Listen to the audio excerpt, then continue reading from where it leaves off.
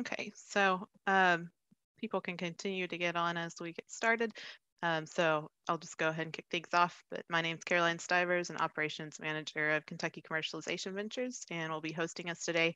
Uh, the Kentucky Intellectual Property Alliance, or KYIPA, is a program of the Kentucky Commercialization Ventures Initiative and KSTC. The mission of KYIPA is to foster an effective ecosystem and marketplace to facilitate the creation, protection, and advancement of intellectual property in Kentucky by serving as a connecting organization for statewide companies, organizations, and innovators. If you're interested in learning more, you can find more information along with the form to join as a member for free on kyipa.org. Also want to give thanks to all of our executive advisory committee for the support they provide and all the incredible guidance they've provided since KYIPA's formation. Uh, so big thank you to them. I'm going to get us started today with just a few housekeeping things. Um, first, the webinar is being recorded. I'll email a link out to our attendees and um, all of our membership. Um, and then with that, um, Accessibility is very important to us, so we do have captions available for the webinar. Those can be turned on or off at the bottom of your Zoom window. We will also have the transcription of the webinar available after wrap up if it's needed. Just please send me an email at cstivers at kstc.com if you'd like a copy of that, and I'll put that in the chat in just a minute. And then lastly, as we are hosting in the webinar format, participants are all muted. So please place any questions or comments you have in the Q&A or the chat area. And if they've not been addressed by the end of the presentation, we'll make sure to answer them before we end the call today, or we'll connect with you afterwards. And now I have the pleasure of welcoming Holly Fechner. Um, Holly is the executive director of Invent Together, an alliance supported by organizations, universities, companies, and other stakeholders dedicated to understanding the gender, race, and other diversity gaps in invention and patenting and supporting public policy and private initiatives close to them. Holly's also a partner at the law firm firm Covington and Burling LLP. She is co-chair of the firm's technology industry group, and she previously served as policy, policy director to Senator Edward Kennedy. Today, Holly's going to tell us more about Invent Together, their mission, and what you can do to help close patent gaps for women, people of color, and all underrepresented groups. So Holly, thank you so much for joining us today, and I'll hand it over to you now. Well, thank you so much, Caroline. And it's such a pleasure to be here with this group uh, from Kentucky. I'm excited about your mission to um, very important to bring together the community that you're bringing together to talk about the importance of intellectual property um, for both our country and for uh, individuals. So um, appreciate that introduction. Um, Invent Together is an alliance, and we are very proud of all of our partners. Um, we've got nonprofits and companies, universities, technology transfer offices who have all come together to create a community to prioritize um, ensuring that we uh, make the uh, invention ecosystem as diverse as possible um, in so many ways. I expect that this group doesn't need to be convinced of the benefits of doing that. Uh, we are all stronger, I think, if we encourage as many people as possible um, to invent and patent because we know the incredible benefits that uh, that brings both for the individuals themselves, um, the institutions they're connected to, um, but also for the, the greater economy. Uh, so we began working on this about six years ago, and uh, it was an informal effort, but last uh, September, we decided to formalize our alliance and stand up uh, this group, uh, Invent Together. I would very much encourage people to take a look at our website, um, inventtogether.org, and also uh, follow us on Twitter at Invent Together. But let me give some sense of what we are focused on uh, because we are trying to um, work in a number of different areas and try to take a, holistic view of how to make progress uh, in this area. So, um, first of all, we feel that research is fundamental. Um, and this is an area that has been lacking um, in terms of understanding more specifics about who, participant, who participates in the innovation ecosystem um, and who does not have uh, the full opportunity to do so. So Invent Together has commissioned uh, four separate reports from a think tank, the Institute for Women's Policy Research. You'll find um, those uh, reports on our website. Uh, some are quantitative and some are qualitative.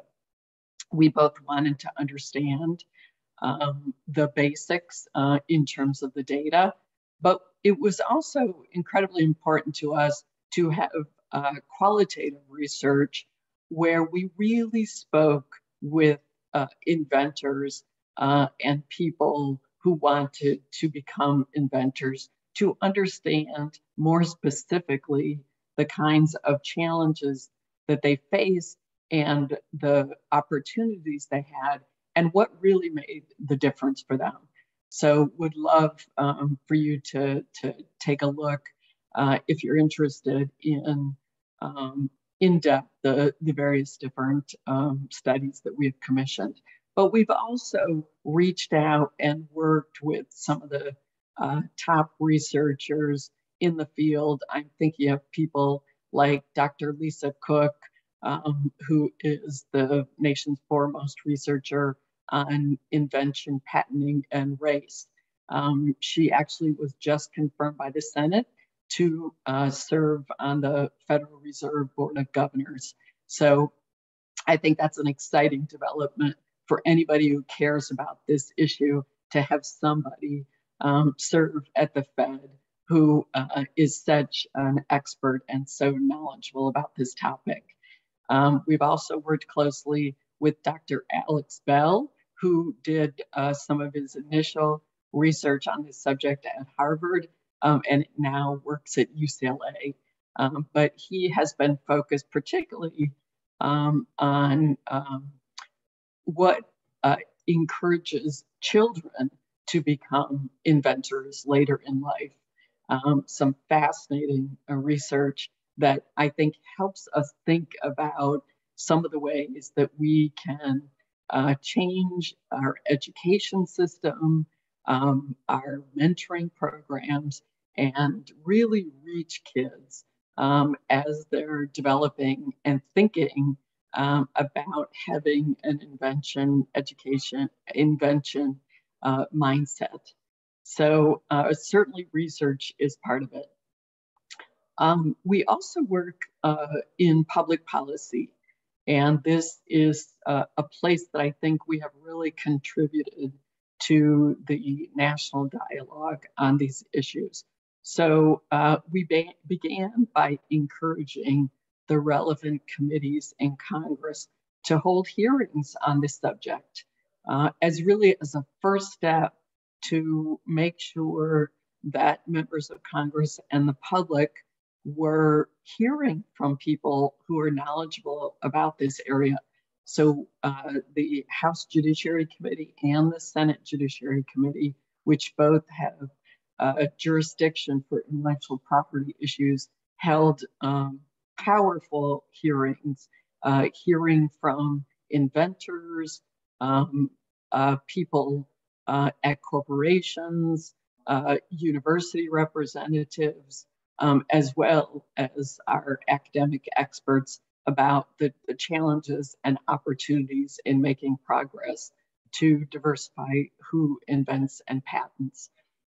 And as a result of those hearings, uh, we worked with members of Congress to introduce legislation. So our first bill is called the Success Act, and it did uh, pass in 2018, and it directed the USPTO to do a comprehensive literature review of the subject um, and to make recommendations about next steps. Um, the USPTO has been a tremendous partner in this effort.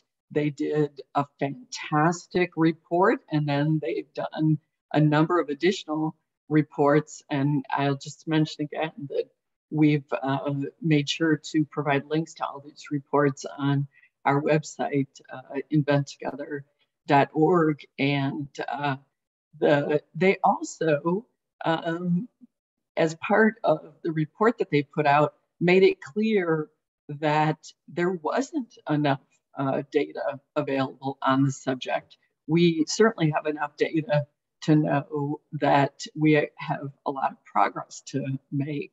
Um, for example, the fact uh, that they found that of US inventors, only 13% uh, are women, um, and that uh, African American patenting in the United States uh, peaked in 1899 and hasn't recovered since. Um, so I think these are the kinds of statistics that make it clear to anybody that cares about both the future of our country, but also equal opportunity for all people, that we've got um, significant work to do in this area. So uh, the USPTO uh, Success Act report did say that uh, more data needed to be collected. So we followed up that legislation with new legislation that the Congress is considering now called the IDEA Act. And that bill would um, ask the USPTO to collect demographic data on patent applicants on a voluntary uh, basis um, and make it available in the aggregate um, for a deeper understanding of this issue and uh, for everybody, both the public researchers and the government to determine how to make uh, additional progress in this area. So, uh, in addition to those bills, well, and let me just say that the IDEA Act is now a part of a bill that has passed the Senate and another bill that passed the House. Um, and those two bills are being conferenced. So uh, we do hope that uh, a final bill gets to the president, which does uh, include the IDEA Act this year. And I'm happy to talk more about that particular process and the, the other bills that that uh, that IDEA Act is a part of, because I think they would also be of interest to uh, to this community. But um, in addition to those bills, there are a number of other ways that I think the, the Congress is looking at these issues. Um, for example, the Small Business Administration runs some programs that are very important to entrepreneurs and people who have intellectual property or who have ideas that need to be uh, protected by patents. Um, and that legislation, the small business reauthorization, um, should uh, is is going to be expiring uh, in September and needs to be passed by the Congress. So we have been waiting in with the relevant committees, the two small business committees in the House and Senate, to try to improve um, those programs. Um, we are also working closely with Senator Leahy and Tillis on a bill they have called uh, Unleashing American Innovators. And the purpose of that bill um, is multifold, but I think two of the major parts are to uh, encourage uh, pro bono assistance uh, for inventors because we all, I think, appreciate that uh, applying for and sustaining a patent is quite an expensive endeavor. And we have found um, through the research, and I'm sure this is uh, common sense to people, that the uh, expensive cost is certainly a barrier to diverse inventors. So uh, we're excited that there are many different ways that the Congress is thinking about uh, making progress in this area. But of course, a lot of things can be done in public policy without passing additional legislation. So we are working with the administration to try to ensure that they take as many steps as possible. Uh, we uh, have been part of a process that the USPTO started a couple years ago called the Council for Inclusive Innovation. This is a body made up of representatives from industry, nonprofits, universities, uh, various different parts of the, the government, um, and individual uh, inventors.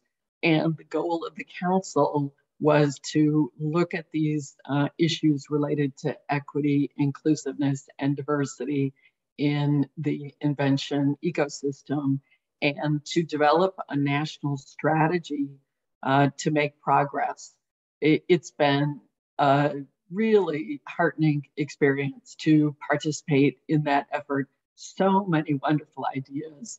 Um, and the USPTO staff has drafted up um, a version of the national strategy. Um, and uh, I think, as people know, um, the Senate just very recently confirmed a new head of the USPTO, uh, Director Kathy Vidal. Um, and she comes to her position with a long history in uh, these issues. Uh, she's been very committed to equity, inclusiveness, and diversity as part of her work uh, in the private practice. Um, our Invent Together group just had an opportunity to meet with her last week to talk about these issues and to talk about the national strategy. And we were very excited to hear how incredibly committed she is to making uh, progress in this area. So we do expect um, in the not too distant future that the USPTO, along with the Department of Commerce and the Small Business Administration, will move ahead with this uh, report from the Council for Inclusive Innovation um, and uh, the national strategy. And I do just want to say that there will be so many opportunities for people who want to be part of this effort. Um, the director very much wants to have um, events around the country and partner with people. Um, and I'm sure she would love to uh, think about how she could partner with you all in Kentucky to uh, raise awareness of the national strategy. Um, and she's also looking for uh, groups and companies and universities to make particular commitments about how they're, what kinds of things they're going to take on in their own um, work settings or communities to further this um, broader effort. Um, so um, I do think that in addition to working with Congress, that there are many things that the administration can do on its own. I also did want to mention that Invent Together has um, a fabulous partnership uh, with the World Intellectual Property Organization, WIPO. Um, we have partnered together um, to uh, hire a researcher. Um, WIPO did a terrific 2016 global study um, on the state of uh, women inventors and patent holders around the world. And as part of this new effort with WIPO, we're going to be updating that study with current uh, data, but also looking uh, much more broadly to try to look at this issue in a global context. We're holding a series of regional uh, meetings with people from uh, different parts of the world. We first started with the Americas, so North and South America. And then in a couple weeks, we're going to be having uh, another uh, three day series of meetings uh, focused on Europe. And then after that, we're going to have another regional meeting with Asia and then another one with Africa. So uh, I will certainly uh, share the invitation if people are interested in uh, tuning in uh, to this event. Uh, and we're also looking for um, companies that uh, have um, active patenting and offices in Europe who might want to participate in an off the record discussion because uh, another component about the work at Invent Together is that we're very focused on uh, best practices.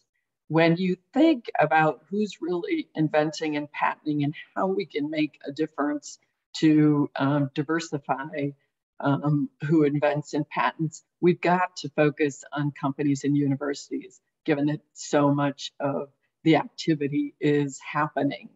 Um, and so, uh, best practices um, and sharing information um, among uh, people at companies and at universities who are committed to making a difference, we are finding um, is uh, an important strategy to this larger effort.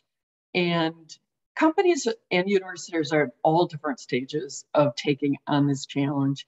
And we find that if they have a safe space to discuss both their um, progress and also the challenges that they face with other uh, people who are going through the same process, that it really can help drive the, the greater efforts forward. So, um, making sure that uh, companies have a community of people that they can talk to. Um, we see um, the toolkit that IPO has put out playing an important role. Um, AUTM has a toolkit for universities, and and of course we're finding that that that's very important um, for that community um, as well. But uh, let, let me stop there because I would love to uh, hear from the group about any thoughts and questions um, that we have. And of course, we are always looking for more partners to join our alliance. Um, you, if you go to our website, you'll see all the various different people that um, have partnered with Invent Together.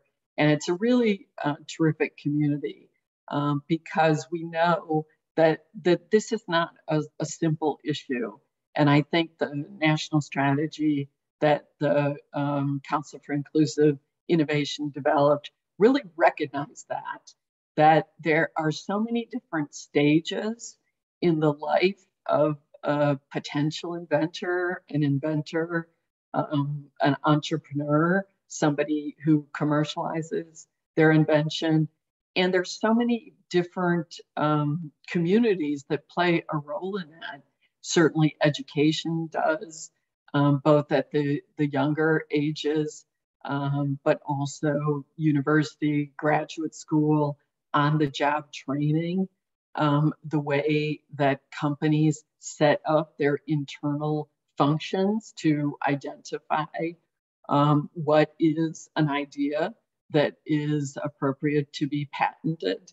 Um, one of the key findings that I think all the studies that look at this issue um, conclude that uh, mentoring programs are, are critical. People have to see other people um, who look like them doing this, and they need that specific support um, to uh, make sense of this quite complicated area. Um, we have another study that um, identified the very important role that what we call um, gatekeepers play. So the attorneys that uh, represent inventors in filing for their patents, um, the uh, patent examiners at the patent office, um, all of the various different people that participate and could make an important difference um, in terms of the, the overall objective that I, that I think we share. Um, so I do, again, want to thank you very much for uh, having me today and would love to, to hear any questions from people. Yeah, and thank, thank you so much, Holly, for that overview of all the amazing work you all are doing. Um, so we do have a couple of questions. Um, so back to kind of the getting involved that you were mentioning, what are some examples of commitments made by Invent Together partner organizations? Ah, that's that's a great question. Um, so let me take a few examples. So Anita B uh, is a nonprofit that represents uh, women technologists. So they have uh, they are an enormous organization and have tens of thousands of members. There's not not that many you know uh, organizations in this space that are so large. Uh, they have made a significant commitment to public education, to ensuring that these issues um, are raised at um, to their very large audience. Um, and then let's take AUTM. Um, it's hard for me to even catalog all the things that that AUTM has done, and I know Megan is with us today, and she can add a lot um, to that discussion. Um, but one of the things they've done is to create this toolkit for people at universities to uh, use to do an assessment. The toolkits, the point of the assessments is to do, uh, the toolkits is to do an assessment of your own organization, whether it's a company or it's a university, to uh, try to see where you're, what you're doing right and what you might uh, be able to uh, improve. Um, we've got a number of companies that have made uh, significant commitments. Uh, for example, um, Qualcomm has been developing a new online educational tool for diverse inventors. And um, Invent Together is planning on releasing that tool uh, in June. So, very excited um, for people to see that. They have background in this area because they have developed similar tools for um, inventors in India, for example. You know, so they came to this um, issue with experience from before, but they needed to uh, revamp it for a US audience. And um, we worked with them to bring in um, expertise on equity um, and diversity. Um, another example is 3M. They have um, uh, let uh, one of their key patent attorneys devote a significant amount of time to developing the toolkit that uh, that IPO has, and I know they just did an update uh, of that toolkit. Um, so, you know, as you can see, um, there's lots of ways that, that people contribute. We've got a number of attorneys that devote their pro bono time um, to the various different programs around the country to provide representation uh, for people who want to patent. So lots of lots of great activity from the from the partnerships. It really does take take uh, a big uh, uh, team pitching in. Yeah, so much so much great work going on.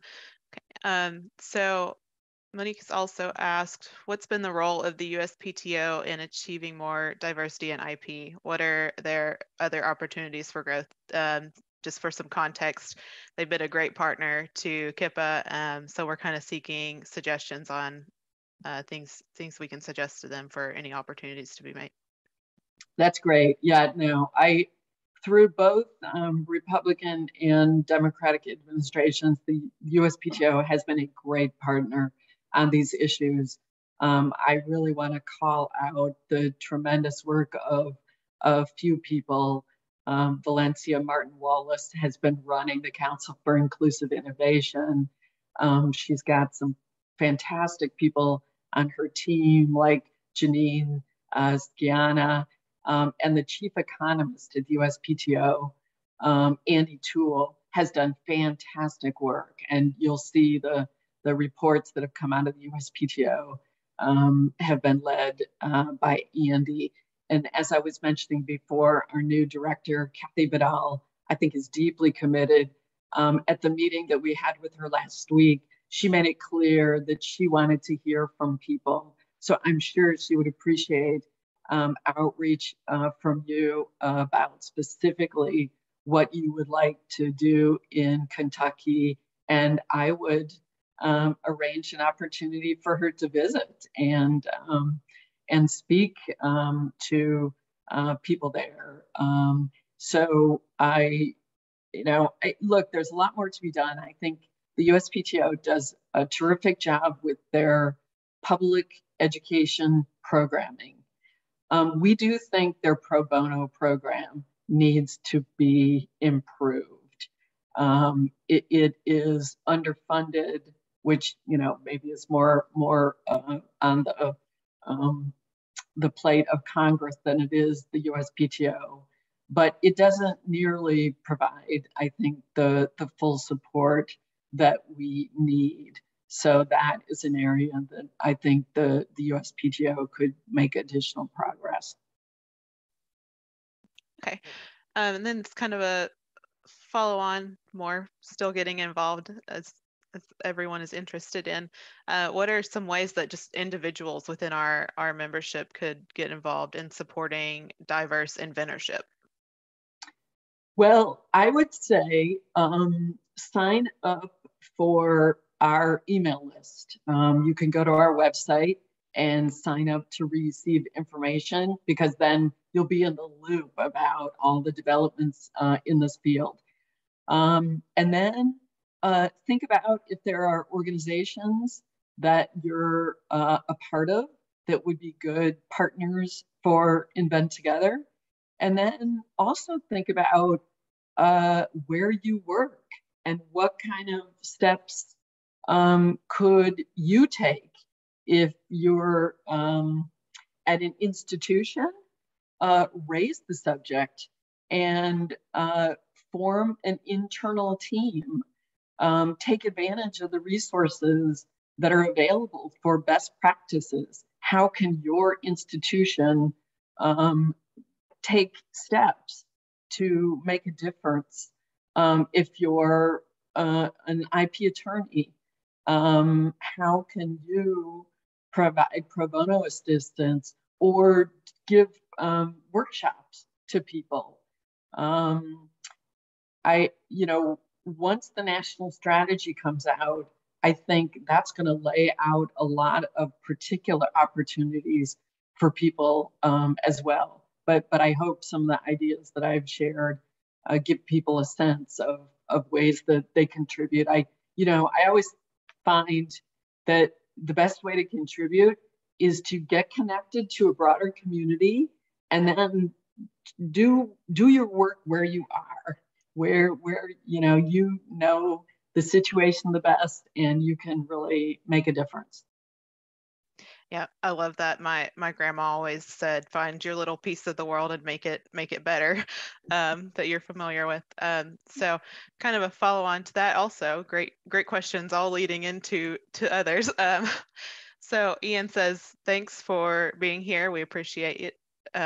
We want to we want Kentucky to be known as a leader in inclusive innovation. So one to set an example for equity and inclusion in innovation and two to help optimize our capacity to innovate by ensuring diversity of ideas and diversity of perspectives.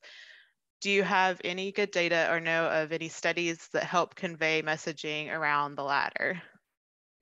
and the latter being um, to help optimize capacity to innovate by ensuring diversity of ideas and diversity yeah. of perspectives. Yeah. Yeah, it's you know it really is exciting um, because the uh, the data that we have from economists really would convince I think anybody who's uh, being open-minded about this issue that it is an imperative that the United States take full advantage of all of our talents. I mean, one way to think about it is to think about um, the, the WIPO study from 2016 and the results that showed that, for example, China and Korea do have um, about half of their women participating in invention and patenting. You know, and if you compare that to our 13%, it just shows you that we're competing at not our full capacity. Um, and it's very clear both with um, gender and race, and uh, the data also suggests that children who come from lower income families also do not have the full opportunity to uh, invent and patent. Um, and for example, example, Dr. Alex Bell uh, finds that if we did um, take full advantage of the uh, the population in the United States and ensured that uh, we diversified who invents and patents, that we would have four times as many inventors. What's not to like about four times as many inventors? Um, and Dr. Lisa Cook has done the research to show the tremendous um, GDP growth that we could have if we did take full advantage of all of the talent um, that we have in this country. So um, if if people, um, I think this is one of the ways that we can reach people about how important this issue is. So of course it's it's important from a moral perspective and sort of the foundational values of the United States of uh, fair and equal opportunity. But it really is an economic imperative now when we see ourselves um, in uh, a vigorous uh, global competition. And I think, you know, these last couple years of the pandemic has shown us that we need to make sure that we are taking full advantage of our ability to both invent and make uh, many things in the United States. The, the other um, piece that um, I think is so important to this is that we, the research finds that when uh, different people have the opportunity to invent, they come up with different inventions because people come up with the ideas that they come up with based on their lived experience. And if we have more people with broader experience, broader lived experience, thinking about inventing and patenting, then we're going to have uh, uh, different inventions, which could only be to the good. So I really do think the, the economic data supports um, the importance of this work for uh, states and for the country as a whole. So then we have a question from Kayla. Um, what is your pitch to people who have never thought about IP or sincerely do not understand the value? So how do you get people outside of tech transfer professionals and lawyers to care about IP? That's a great question because uh, and I find this with my work with uh, members of Congress. Sometimes they can be very scared even uh, talking about these issues because it feels so technical and they don't feel like they're they're up to the task. Um, and I think the best way to go about it is to really talk um, in stories about inventors and their inventions because that's something that everybody can understand Um, and when you start there, then I think you can convince people that this is a subject that they should care about. Um, so telling stories, I think, is is an important way to reach people who are not already part of the the IP ecosystem. Yeah, that's great, great advice, and hopefully, I think something we'll be able to to implement too uh, as we as we kind of grow grow things more here in Kentucky too. Um, let me just say one of the reports that um, we worked with the Institute for Women's Policy Research on was um, uh, interviewing, I think it was about a dozen different inventors. And like, for example, that's just a great source of stories. Um, and you could, you know, you can see just the amazing uh, things that they've done, but also the challenges that they face and I would encourage people to think about what stories would resonate in their own community. You know, c- coming up with a story bank of Kentucky inventors would be really awesome. You know, and in terms of the economic research, one thing that that hasn't been done that I would really like to see done um, is more work on um, the geographical dispersion of invention and patenting. Um, Andy Toole, the chief economist at the USPTO, has let us know that he's coming out with a study soon that is going to cover this. So I think that's going to be fascinating um, to to see, and hopefully will just give us more information to to take advantage of. Yeah, that'll be that'll be great to see. Um, so we have another question from Ian. He says, has Invent Together looked at PTIE and its ability to help make academic research and innovation more inclusive? I'm sorry, what, what was the acronym? PTIE. And that's not one I'm familiar with. So Ian, if you Oh, promotion, tenure, uh, innovation, entrepreneurship. Sorry. Now to see it. good, good point. Good point.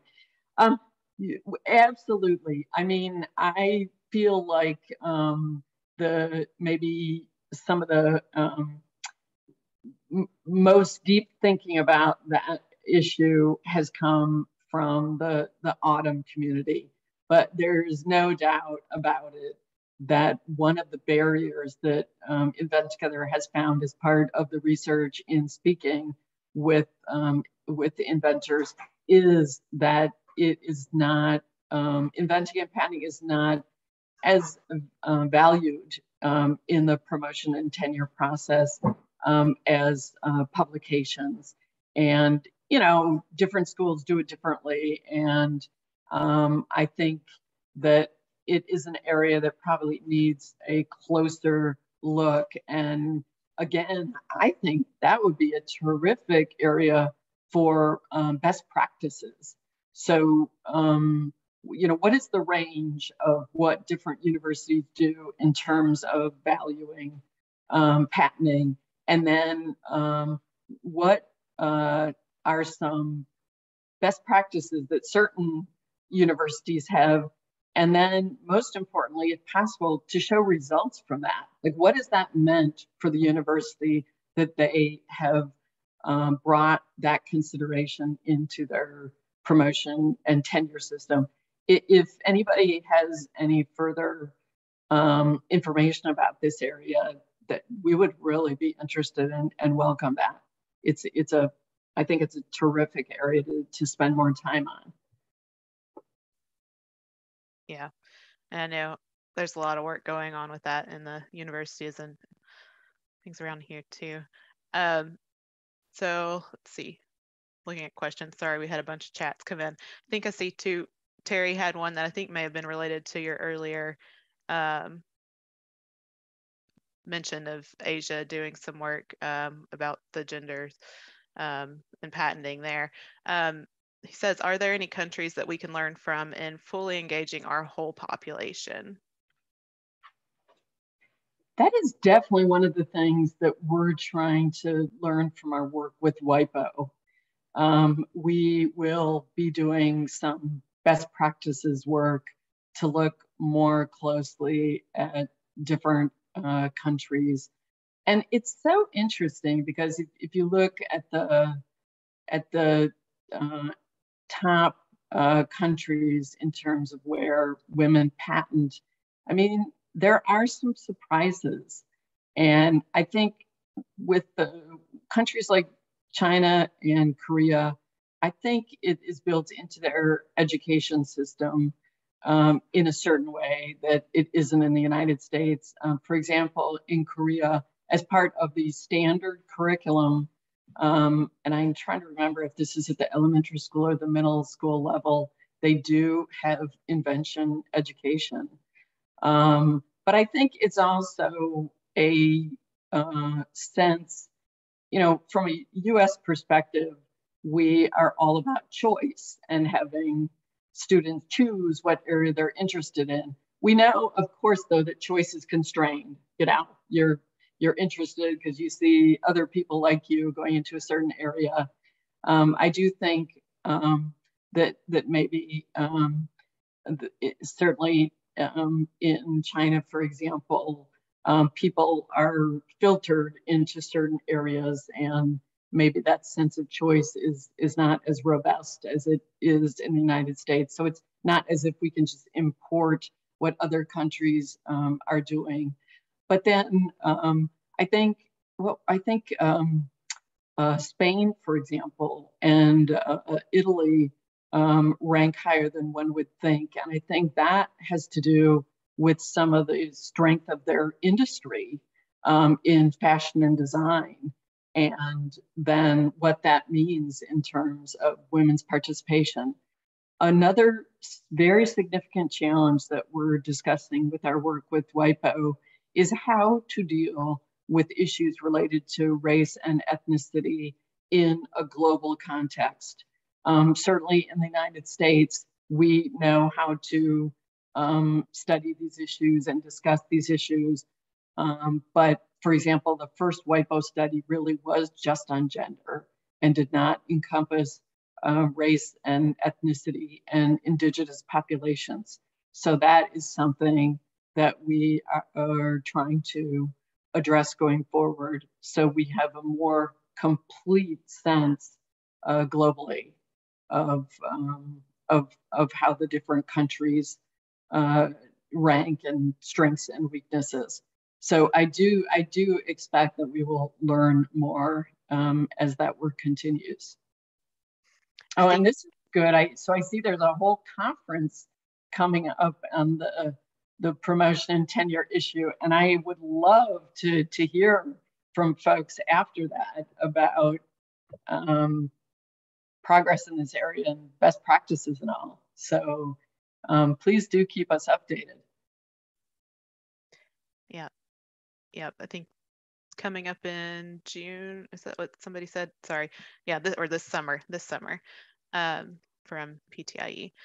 Um, so I think this next one you kind of started to touch on a little bit, but Stephen typed in the Q&A, to take full advantage of the talent in our country, country, it's important to consider that people have different ways and styles of learning and communicating information their right brain styles and left brain styles or visual, auditory, and tactile styles of learning. Has Invent Together looked into the variety that exists here, or from a big picture perspective, do you know any stories that shed light on how all these styles of thinking and communication communicating bring positives to innovation? That's a great question.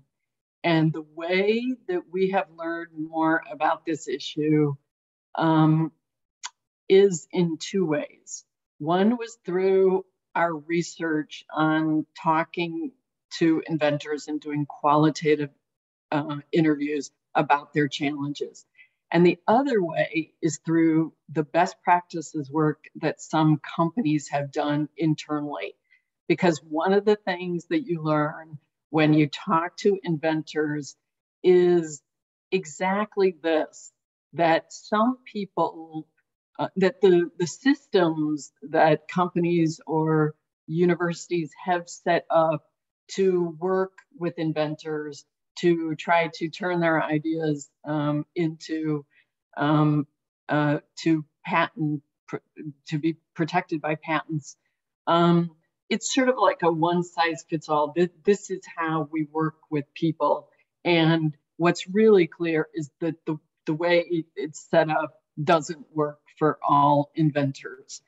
And so um, I think a number of companies I am aware of are in the process of changing their internal uh, way of doing business to try to capture um, ideas that, that could be patented. And this is a really, has to be a thoughtful process. And you've got to have buy in from leadership um, to, to do this kind of thing. So I, I see, as I was saying before, I see different companies and universities at very different stages about how they're um, once they've looked closely at the the challenges that they face and have done this self-assessment, they're then in a um, they then have the ability to make the kinds of changes and change their internal processes. So it's exciting because um, it it is got to be done this way at many different places, right? I mean, you know, we can have the the USPTO put out a national strategy. We can have Congress pass laws, and all these things are helpful.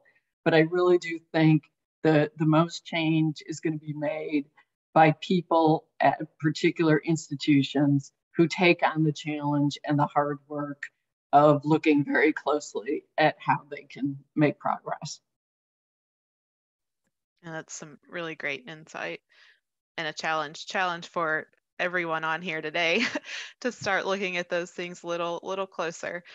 Um, then we have one last question that I'm seeing for now from Monique. Uh, who's doing remarkably well when it comes to increasing diversity in IP in your opinion? And so where are the bright spots in our nation that we can glean from? Ooh, this is a challenge for me to um, address because so many people want to keep this information um, very close.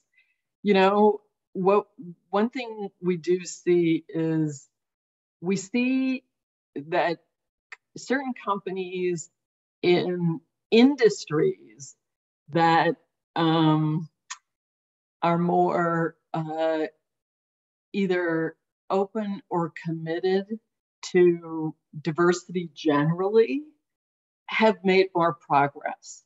So I think this is where it, it comes in that the leadership of whatever the institution is needs to have a broader commitment to these issues. Um, and then you can make some of the changes that you need to make.